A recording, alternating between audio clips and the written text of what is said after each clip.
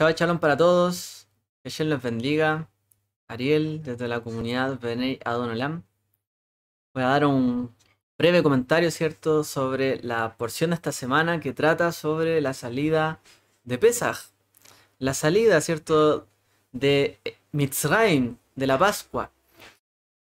Hoy día, ¿cierto?, se culmina todo el periodo, el proceso que se vivió desde que partimos, ¿cierto?, la semana pasada. Coincidentemente también partimos un Shabbat, bueno, finalizando el Shabbat, y terminamos con un Shabbat.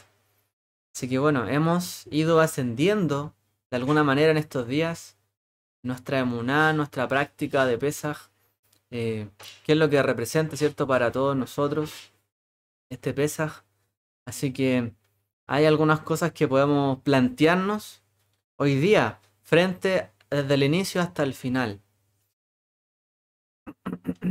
Así que bueno, Mesrat Hashem, vamos a comentar sobre un poco sobre esto. Bien.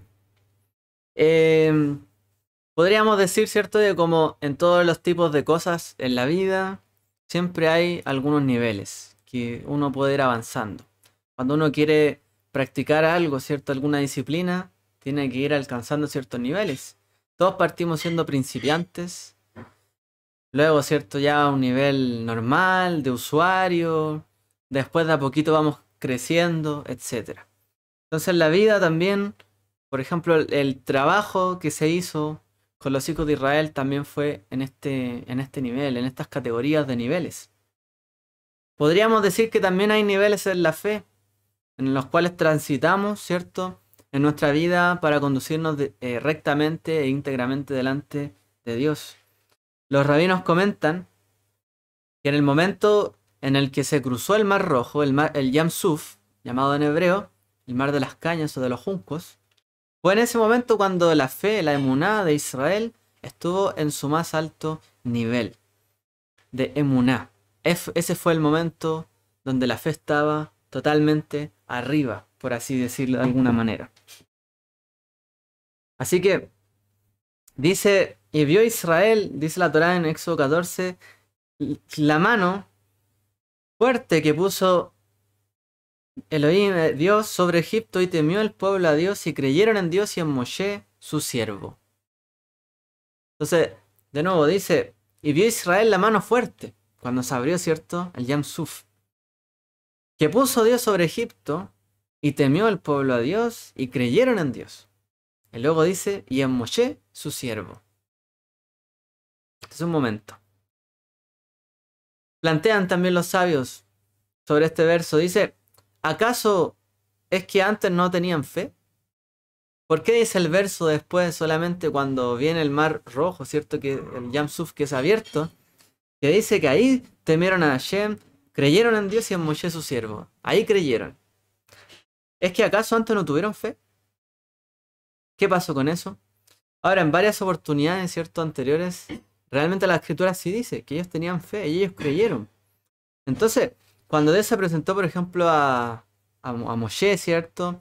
Y le dijo que liberara al pueblo de Israel para salir de Egipto, entre ellos, Moshe le dijo, ellos creerán, no creerán en mí y no escucharán mi voz, les dijo Moshe. Entonces lo que fue, lo que hizo con eso, ¿cierto? Es que realmente se vio como algo negativo de parte de Moshe. Ellos no creerán en, mí. Pero realmente el Eterno les dijo, no, ellos sí, o sea, tú tienes que ir igual, de todas maneras. Eh, y al final dice que el pueblo confió cuando él fue. El pueblo confió en él, confió en las palabras que él había dicho. Al principio no, pero después sí, el pueblo confió. Y sobre todo cuando vieron las señales, ¿cierto?, que fueron manifestadas a través de Moshe.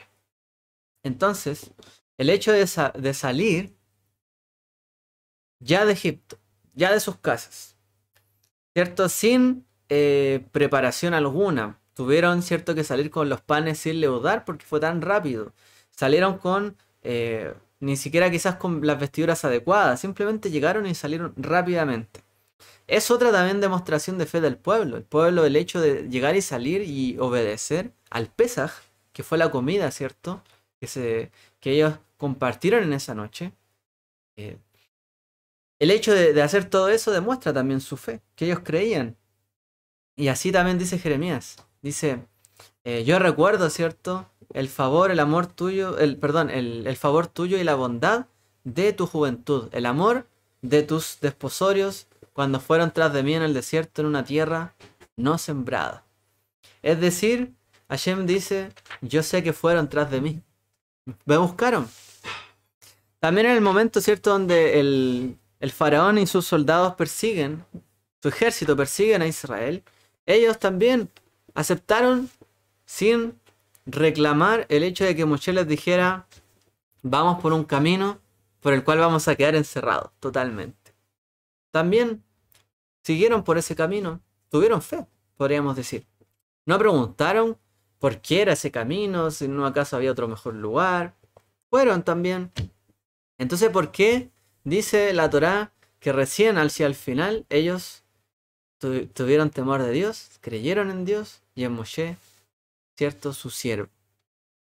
Es porque realmente la verdadera fe todavía no la habían alcanzado, sino hasta eh, el final de todo el camino, el final del proceso. ¿Cuándo? Cuando realmente ellos vieron que sus enemigos, que de momento habían padecido, una plaga, otra plaga, una cosa, otra cosa, pero todavía los perseguían. Fue cuando ellos vieron que sus enemigos realmente se hundían en el mar, fracasaban totalmente y ya no iban a seguir tras de ellos, cuando realmente, ¿cierto? Su percepción y su fe fue mayor. Se quedó grabada, ¿cierto? En los corazones como un momento muy especial. La salida de Egipto por total, por completo. Entonces, nosotros podríamos llegar a, pensar que la fe siempre es la misma en todo momento de nuestra vida, pero sabemos, ¿cierto? Me imagino por experiencia propia todos que no es así. Uno puede ver las cosas de una manera y después con el tiempo se da cuenta que no son tan así. Uno puede mirar hacia el mar y ver que celeste se ve esto, que celeste el agua. Pero uno toma el agua y el agua es transparente incolora. No es celeste. Entonces aquello que nos parecía celeste no era celeste. Era transparente. Es el reflejo, ¿cierto?, de la luz. Que lo hace ver así. Entonces, una persona que tiene una fe en, esta vida tiene que también entender que a veces esa fe hay que trabajarla. Las cosas como las vemos en un momento no son lo mismo que como las vemos en otro momento y lo ideal siempre es ir aumentando, como dijimos del agua, ese conocimiento, entender un poco más allá. ¿Cierto? Cuando uno ve el agua y dice, el agua es azul, es verde, es celeste, pero después estudia y se da cuenta, ah, no es de ese color, mira, la vira, la vira bien. No significa que conozca o que no sepa qué es el agua, que antes no supiera y ahora sabe. Lo que pasa es que ahora tiene más conocimiento de ella tiene un conocimiento más profundo del agua y de lo que ocurre alrededor. Así también sucede con la emuná, la fe, o también que se puede traducir como fidelidad. La emuná, fidelidad o la verdad, la, confiabilidad. Entonces, eh, una vez, ¿cierto? Un maestro que salió a un lugar muy lejos, era un rabino. Salió del hogar, ¿cierto? Donde estaba él estando, él, viviendo, perdón. Y resulta que se va de la casa y dice, bueno, me voy a estudiar a un lugar lejano. Cuando retornó de ese lugar lejano, le preguntan allí en el hogar, en la casa, ¿y cómo le fue? ¿Qué aprendió en ese viaje tan lejano? Y él les dice, aprendí que existe Dios.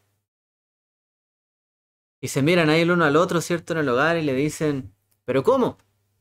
Viene el suegro, ¿cierto? Particular que había, que era el, padre, ¿cierto? Su esposa. Le dice, ¿pero cómo? Fuiste tan lejos, dejando tu casa, para decir que existe Dios. Si hasta cualquier persona de esta casa o un siervo puede decir que Dios existe.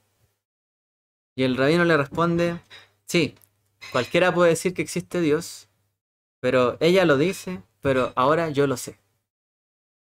Y esa era la gran diferencia. Ese camino, esa travesía que él vivió, ¿cierto? Alejándose del hogar, pasando quizás qué cosa. Lo hizo comprender realmente cómo actúa Dios, ¿cierto? Conocerlo un poco más a Él. Alguien lo puede decir que existe, pero ahora Él sabe que está allí.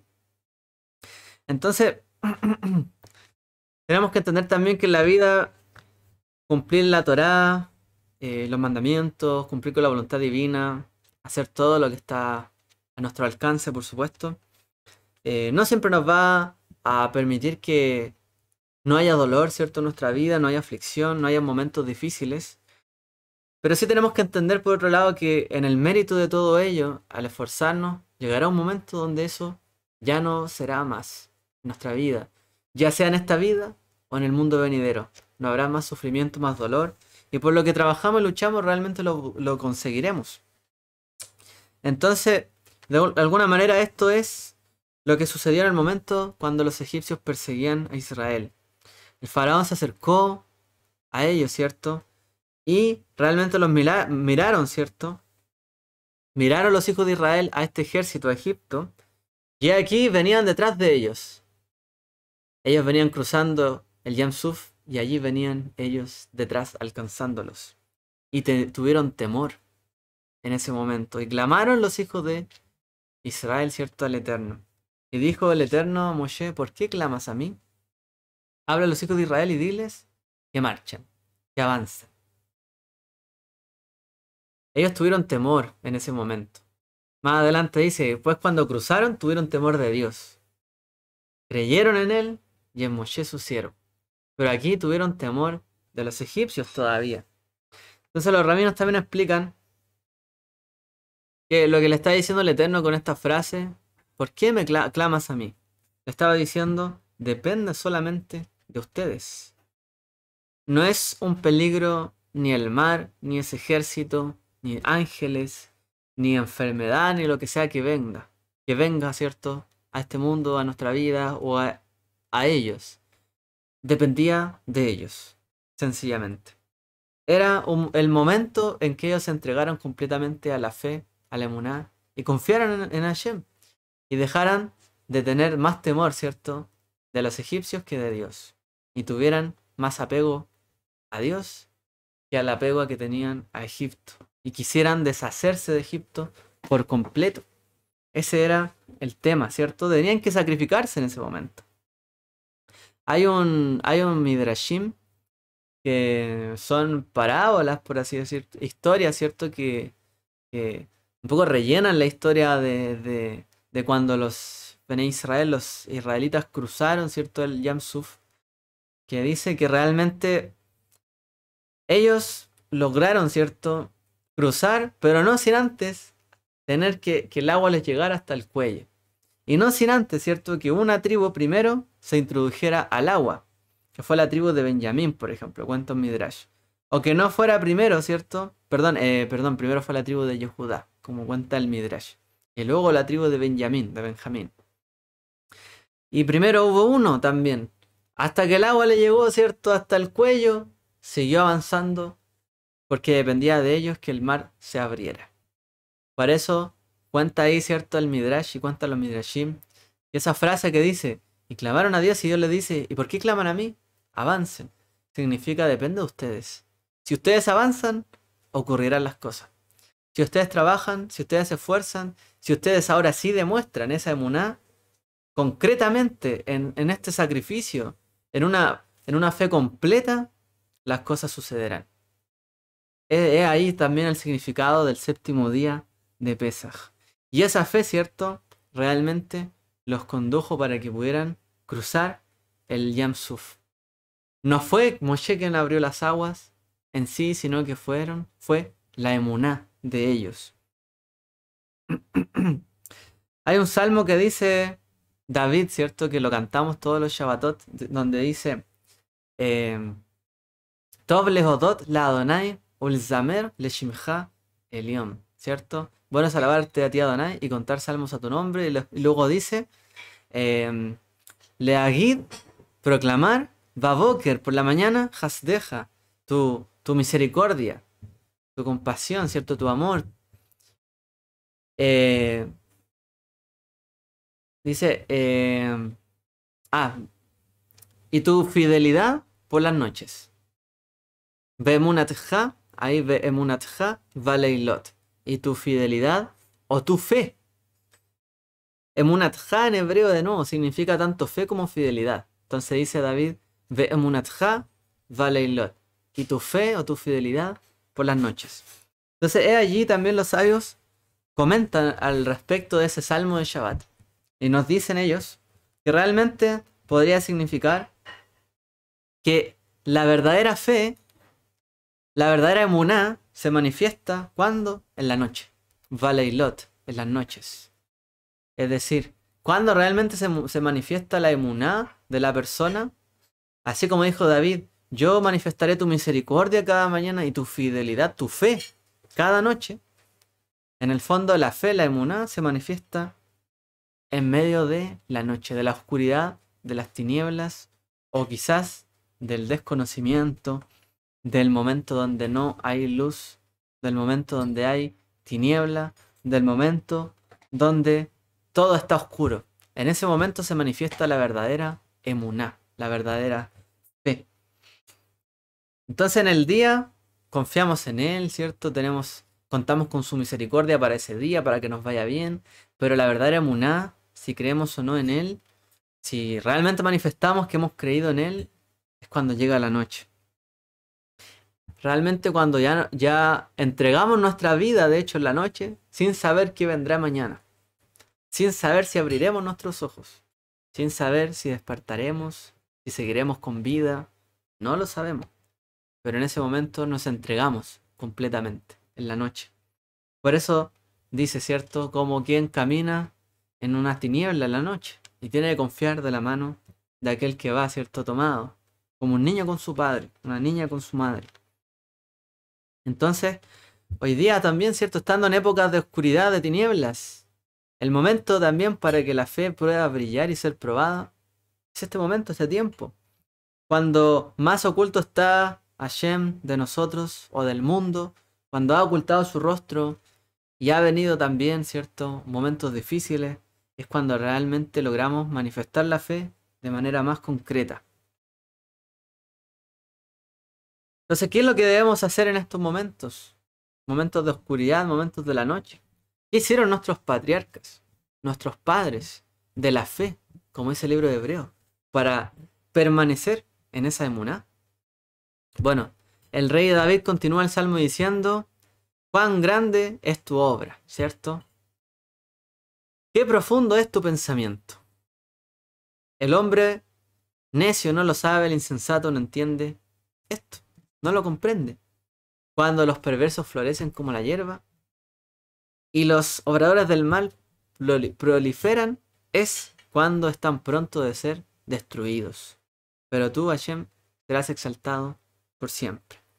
Y recordamos también en ese momento que somos insignificantes y que también todo nuestro razonamiento de decir, esto, esto lo hice yo, esto es grande, esto es una obra y es maravilloso.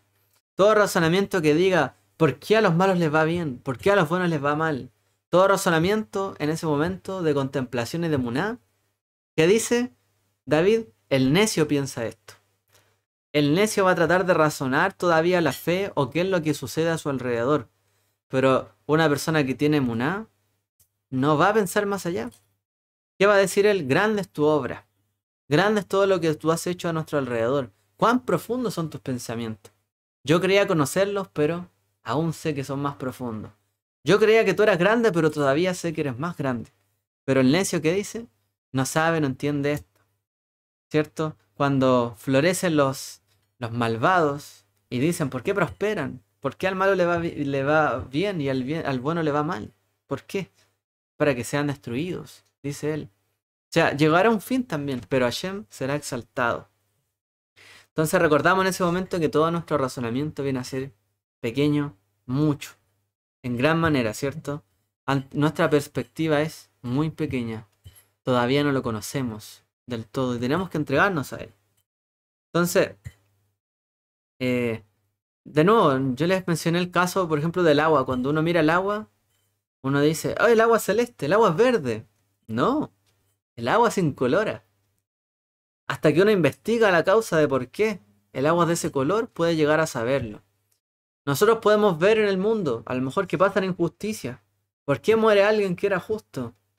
¿Por qué? ¿Por qué revive o, o vive mucho tiempo alguien que es malvado? ¿Por qué no es cortado de raíz de este mundo? Imagínese usted que viéramos nosotros a un grupo de personas con batas celestes, abriendo un cuerpo, con elementos de metal, y no supiéramos nada del siglo XXI. ¿Qué pensaría una persona?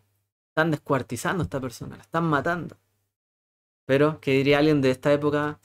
Están operando, le están salvando la vida. Hay muchas cosas que nosotros no conocemos y no sabemos, y no nuestra mente todavía no alcanza a dimensionar todo ello. Por eso en el momento de la tiniebla, cuando menos vemos, es cuando más nos damos cuenta de su grandeza, de lo grande que es Él y de todo lo que Él nos puede y nos ha dado hasta el día de hoy. Esto realmente no es como lo que ven nuestros ojos. Entonces, durante todo el día, todo lo que pudieron ver los hijos de Israel en Egipto, una plaga, otra plaga, ellos no experimentaron que a lo mejor tocara tan cerca de su hogar, de sus casas. Siempre estuvieron apartados hasta que se vieron enfrentados entre la espada y la pared y el mar. Entre la espada y el mar. Y como dice el Midrash, tuvieron que experimentar el agua que les llegara hasta el cuello. Hasta ese momento de tiniebla, de oscuridad, de desesperación, pudieron realmente manifestar la verdadera y completa emuná. Entonces, es la fe, ¿cierto?, la que mantuvo a Israel en ese momento, la que les permitió avanzar y seguir adelante. Cuando la fe fue completa. Y es la misma emuná que nosotros debemos tener, esperando y aguardando la venida de nuestro amado Mashiach, Redentor, ¿cierto? Aunque se demore, aunque mientras haya vida no, llegue, la esperamos, ¿cierto? Aunque se demore, aunque tarde, sabremos que llegará. Hay emuná en ese momento. Sabemos que aunque esté todo el mundo así, aunque venga la tiniebla, en la tiniebla más confiamos en Él. Aunque vengan momentos difíciles, más confiamos en Él. Y sabemos que Él será victorioso. Entonces, en este tiempo, ¿cierto? Recordamos eh, los grandes milagros que hizo Hashem y la completa emuná que tuvieron que tener al final, ya cuando estuvo arriba. Y después de dejar el temor a los hombres, temieron a Dios y tuvieron y creyeron en Él en ese momento. Lo mismo cierto sucederá cuando nosotros realmente nos entreguemos completamente a Dios.